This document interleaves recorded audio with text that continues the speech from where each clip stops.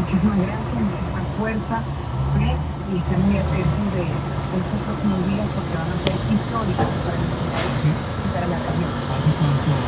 Miriam, usted no habla con su esposo, con Leopoldo López?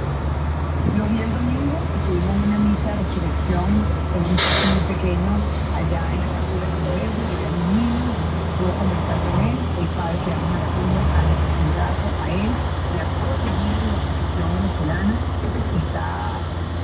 lleno de, de está muy animado y convencido de que muy pronto los venezolanos se